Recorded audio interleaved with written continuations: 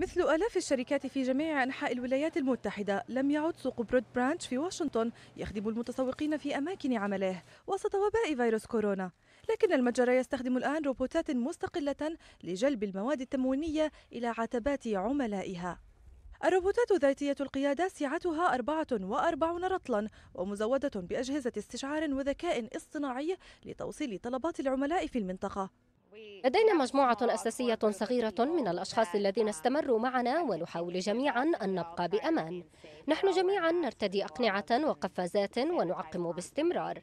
نعلم أنه لا يزال هناك خطر لأننا ما زلنا نخرج. كما تعلمون إلى عائلاتنا إلى مبانينا السكنية أو أي كان. لذلك لا يزال هناك خطر لكنه قليل.